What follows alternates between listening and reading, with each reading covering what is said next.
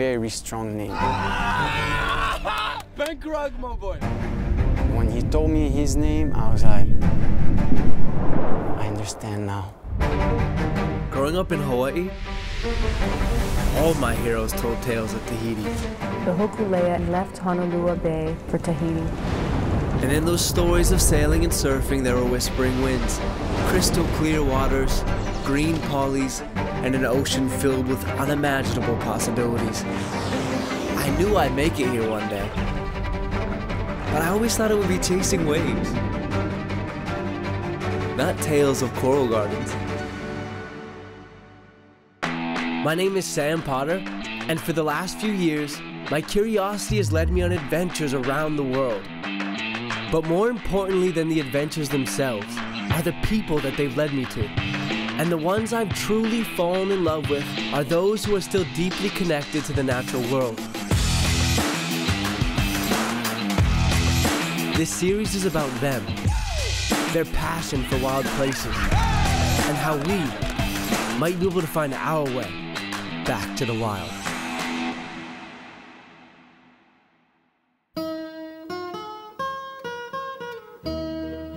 Both being part of the Polynesian Triangle, there are some pretty plain to see commonalities between Hawaii and Tahiti. So upon my arrival, I almost expected to find a sense of home. But Mo'orea was more closely related to fairy tales than reality. A real life Never Never Land, which is the perfect setting for the wide eyed and wild group of island kids I'm here to meet. Oh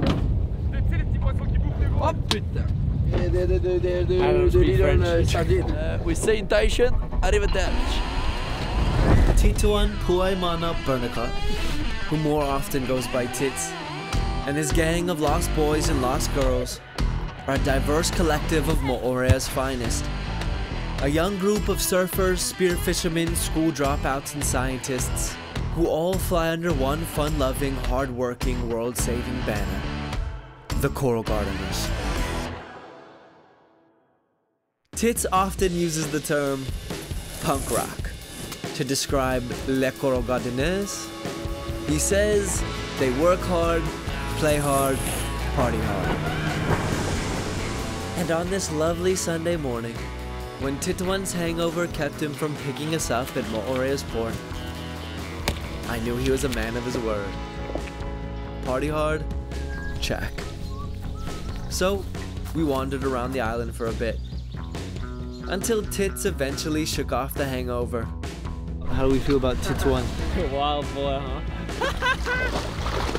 And within seconds of our oh, meeting, we were packed into the Blackbird, flying across a perfectly blue ocean in search of adventure. Okay, let's go, brothers. Play hard? Check. We got here this morning. Titouan forgot to pick us up, but he's trying to make up for it, and it's working. So the plan is to try to get some fish for dinner, try to catch, catch some waves, maybe go dive with some whales. Yeah, let's see what the day brings. When it comes to the ocean, it's better not to ask for anything and then just see what happens. And within 10 minutes of leaving the lagoon, we find ourselves amongst a perfect opportunity to catch some dinner. I love those kind of fishing uh, method because you're collaborating with the birds. Our boat is called the Blackbird. Why? It's a long story, my friend. Hey, whoa, whoa, oh. whoa, whoa! I like this fishing method. I like it. You, good choice on the lure. Sometimes the the marlin, he come and steal our fish. Ooh la la! Let's go, captain. Let's go. Let's go. Yay! Thanks, bird. Ooh. I think he's the And with that fish secured, your turn, Tits. Birds are getting a little excited. Whoa, whoa! Good day for fishing after the party of yesterday night. I like the way Titouan spoke of fishing and his alliance with the birds. His connection to the ocean was vibrant, and his love contagious. Good job, bro. That's tough. Yeah, I think we're done. We have enough, huh? Yeah. Nice. Heading back into the lagoon, Titouan made a quick observation and cut the engines. Have you ever uh, dove with whales before? I've never dove humpback whales. Yeah. Never dove with a humpback. That's so cool. So there are two of them right here. in this clarity of water, there's two whales. Yeah, yeah. The coral reef, they are really important for the whales, the humpback, because that's where they come to rest with the babies. Sometime my dad, when I was a little kid, uh, at the end of school, he was coming with his, his small boat. I jump in the boat, and then after school, we go diving with the whales. The babies, they are really playful. So they come, come at, at you, and sometimes they, they can imitate what you do. Huh? They play, they play. Uh-huh. If you do your thing, maybe sometimes the calf, the baby, or the whale, they can come closer to you. That the only thing you don't want to do with the marine life is to run after them. you Yeah, know, them let alone. them come, and Yeah, that's yeah. when the beauty. When the whale comes straight like like this, man, sometimes it's good. So, to abide by the loving wisdom of Titouan, we geared up in case a whale came to say hello. And we just did our thing, which for us meant eating mangoes. And as if to confirm my lingering suspicion of Moorea being magic, What are you talking What are you talking about? A whale just popped up right here. Like we're sitting there looking for whales that way, and one jumps Look, look, up. look, look here. Where is the À 30 mètres devant toi. What the heck? However, just as quickly as a whale can swim into your life, they can swim right the hell out of it. But that is the closest I've ever been to seeing a whale underwater. And now I'm hooked. Ah, the new goal now. We to see a whale. A, si- a That is whale the whole underwater. mission. Yes. That was sick, huh? That was insane. Eating the mango. We spent the rest of the day looking for whales. And at times, it felt as though they were literally surrounding us. Whale number two.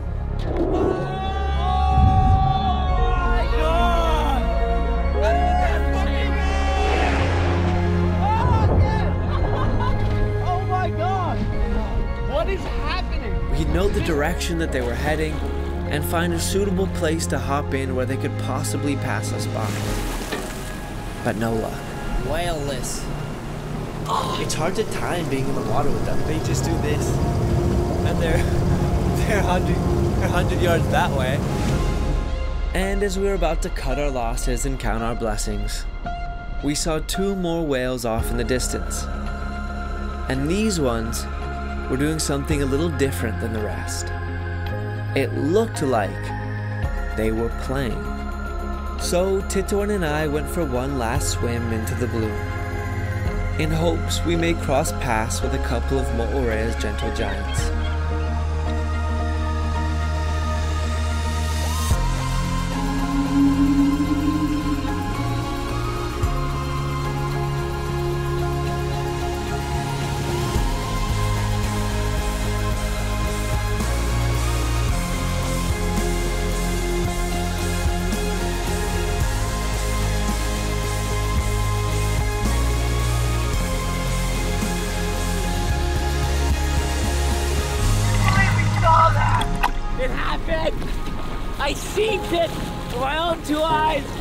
Our way, huh? She was So, she was so pretty! Ah, c'était cool. Oh, and I dive and I look to my right and there's a whale just like swimming with us. So it's me, Titouan, and this whale like so close I can see his eye just looking at me. And we're all just like kind of swimming together. It was one of the craziest moments of my life, 110%. Dreams come true today. That was that was insane. That was insane. I was told that the island of Moorea is a giver. I love you! And I must say, she gave us a hell of a welcoming party. As we cleaned our fish, the sun set and the moon rose. And it became easy to see how a place as powerful as this one could mold such an inspiring group of people. The fact that we just pulled the boat up to our house right now. it's just. You guys' coral gardens are right here, yeah? Yeah. What are we, so what are we doing tomorrow in the actual garden? So tomorrow, Monday, you can just come walking or swimming to the headquarters, and we'll uh, deep dive into the the core world, like the nursery, planting some corals, and you will meet all the team here. Hell yeah. Yeah, bro. Let's eat some sashimi.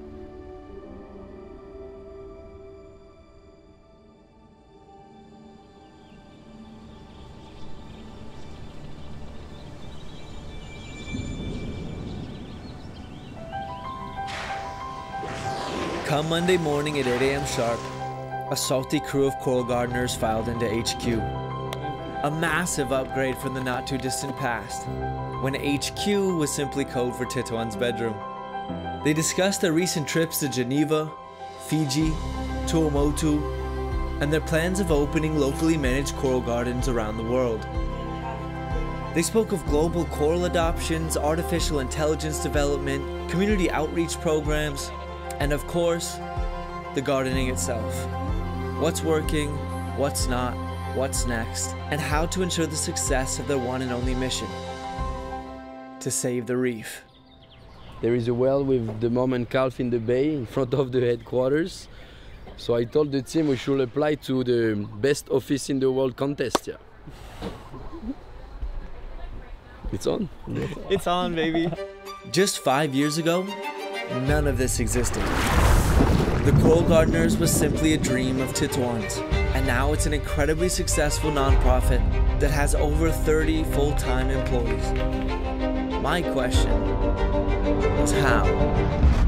Titouan is a volcano of ideas. Eruption every time. He's a funny guy, yeah? Titouan, he has everyone on his shoulders at Coral Gardeners. He's the center of coral gardeners. How are you so like this, you know? Today you're not believing it. I will believe for the two of us. And tomorrow you can believe again and you can do it by yourself.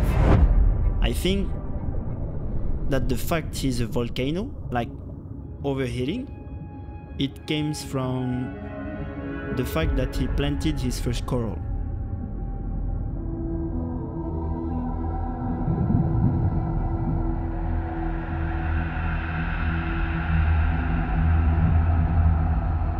I can remember the first time I realized the decline in our coral reefs, but I didn't do anything about it. It just felt like such an overwhelming problem. Like, what am I supposed to do? And you had that same thought, but did something about it. You're like, what am I supposed to do? And then you worked towards a solution. Like, what was the moment of like, this, this is dead? I have to do something about it. And what did you do? Yeah. That's a great question. So we arrive at the surf break, we throw our anchor, we go at the at the at the lineup. We watch under our feet, and all the reef, all the corals' head were white. So I see the coral reef were, were, were bleaching. I understood this means we're dying. And it was not only happening here, on our tiny island of Moorea in the middle of the South Pacific Ocean. In just 30 years, in a second, we lost almost half of the coral reef for white. And the second thing I realized that day is that the coral reef, they were the things giving me everything I needed in my life. For the fish I eat every day since I'm a little kid. From the best moments, surfing some coral reef waves with my, with my buddies. I was 16 years old and I realized that the thing which is the most important thing in my life, is dying in front of my own eyes. And around me, nobody is doing anything.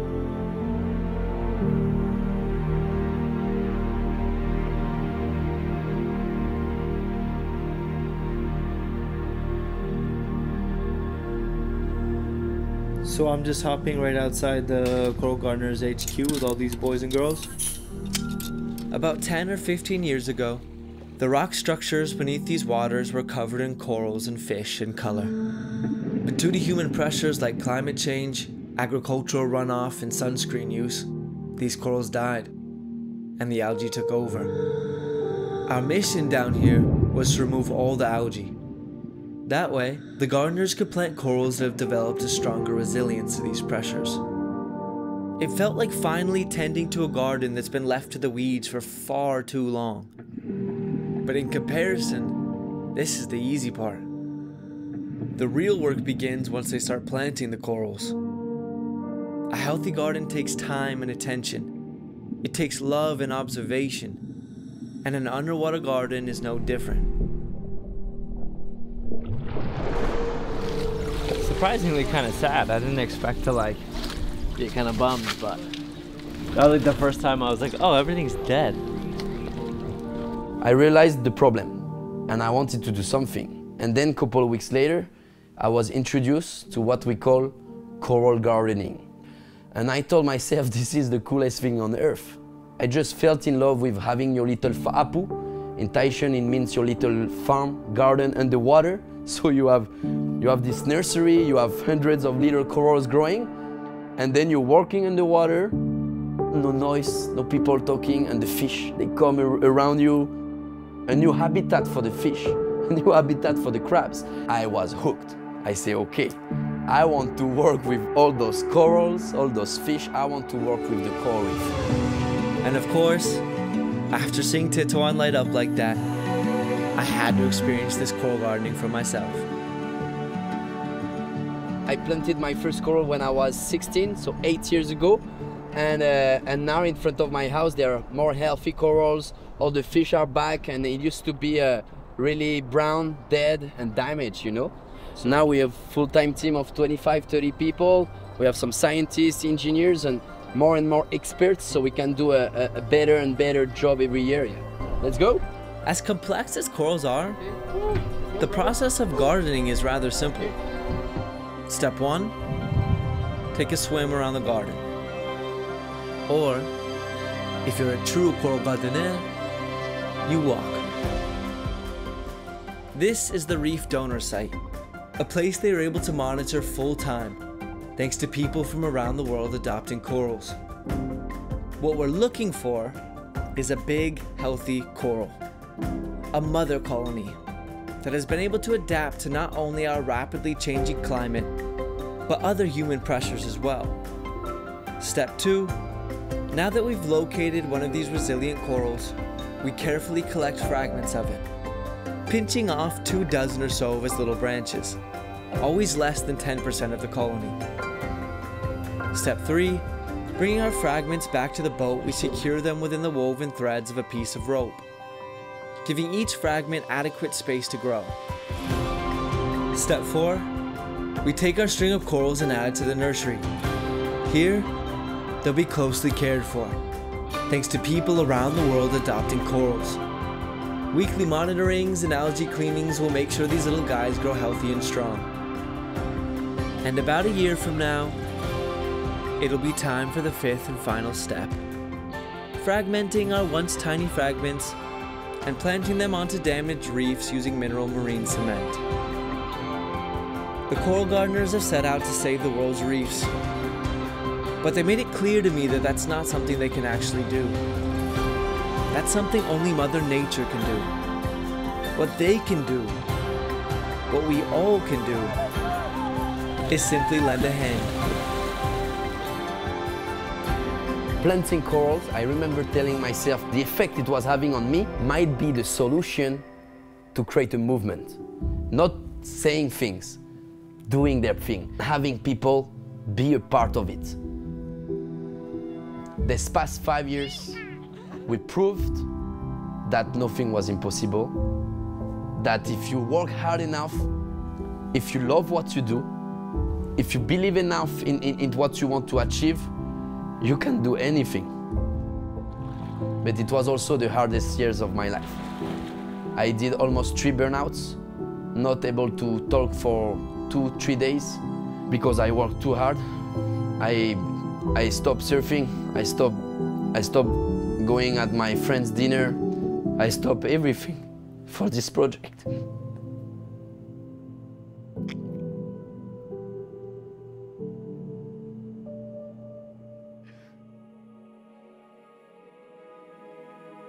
When you love something, when you care about something much, you gotta do everything for it. And sometimes you forget yourself. So yeah, I, I work really hard. I learned so many things, man. And I realized I have still so much to learn. Now I know that the next couple years are going to be insane. We are going to fucking change the world. We are going to revolutionize, create a movement of, of young fishermen, surfers everywhere around the planet. There are corals everywhere, in the, in the most remote places you can think. And there are people who need the coral reef to live. And those people, I want to give them opportunities, meaning in life. And that's what we are going to do.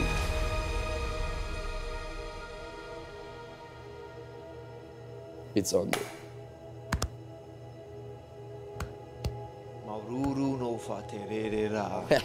Yes, sir. Yeah. God damn. Okay, let's go party. Yep. Party hard, play hard, work hard. Check. The gardeners planted more coral just this year than they have in the last five. And with goals of planting 1 million corals by 2025, this is just the beginning. These really are gardeners. To be a coral gardener is no longer just a dream. It's a career path for the working class of Moorea. And soon, the world. Les Coral Gardeners are going global, creating opportunities for people around the world to make a living by caring for the places they call home. Titouan Poimana Bernicot has turned his passion for coral and his love for Moorea into a mission to save the world's reefs. And a movement that I believe has the ability to not only create a happier and healthier planet, but a happier and healthier people.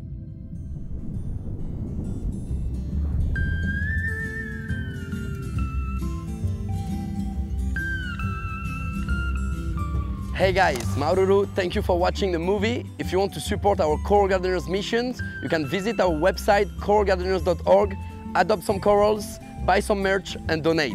It's on.